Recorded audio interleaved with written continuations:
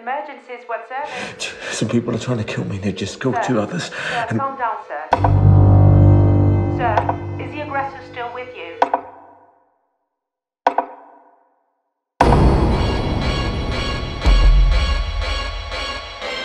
This is awesome. How come you never showed it to me before? Julie, this guy's an arsehole. I don't want to have this conversation right now. And I don't want to see a trace of bitterness and disappointment because of you. Yes. Got you over to my house. Look at here, I turned it out. Tell you what I'm talking about. Did it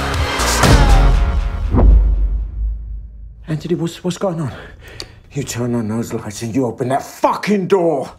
Anthony!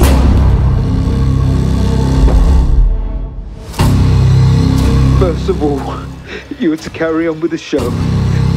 Secondly, you're going to follow our instructions without any questions. Thirdly, if for whatever reason the broadcast is cut, you're going to pay for it. What's happened here? Two men have stormed the studio and they're holding Claire and Anthony hostage. And they need you to tell us what happened in room 221. You're on air. I know what happened to you. Tell him to get his fucking hands off of her! I know guys like you. Just want girls to be at your service. To keep their mouths shut. Why would you do that? What did you do to the girls in room 221? Get up, tell them we're not finished yet.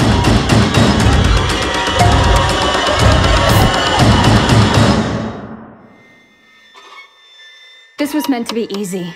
Really easy.